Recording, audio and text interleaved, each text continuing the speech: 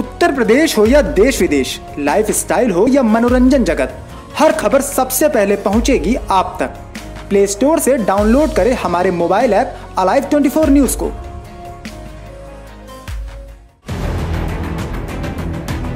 Delhi police ने बड़ी आतंकी साजिश को नाकाम कर दिया है।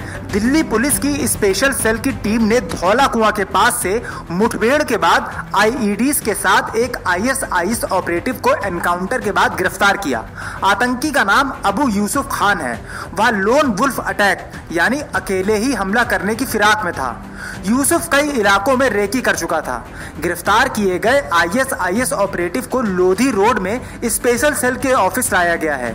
दिल्ली पुलिस का कहना है कि जब आईएसआईएस ऑपरेटिव को पुलिस द्वारा रोका गया, तब वो बाइक पर था। आईएसआईएस ऑपरेटिव से बरामद किए गए आईईडीज को सुरक्षा बलों ने रिज रोड के बुद्धा पार्क में डिफ्यूज किया। रिज रोड इलाके में बुद्धा जयंती पार्क के पास सुरक्षा बल तैनात किए गए हैं। दिल्ली पुलिस का कहना है कि गिरफ़्तार किया गया व्यक्ति एक हाई लेवल आईएसआईएस ऑपरेटिव है। उसके कब्जे से 30 बोर की पिस्टल, चार ज़िंदा कारतूस बरामद किए गए हैं। आतंकी के पास से दो आईईडी और एक पिस्टल मिले हैं। आईईडी को प्रेशर कुकर में फिट किया गया था। आतंकी अबू यूसुफ खान पर अन्य धाराओं के साथ गैर कानूनी गतिविधियाँ रोकथाम अधिनियम और विस्फोटक अधिनियम के तहत मुकदमा दर्ज किया जाएगा। दिल्ली पुलिस का कहना है कि पुलिस ने धौला कुआँ और करोल बाग के बीच रिज रोड पर बुद्धा जयंती पार्क के पास शुक्रवार रात करीब साढ़े ग्यारह बजे आतंकी को गिरफ़्तार किया। वह बाइक पर था।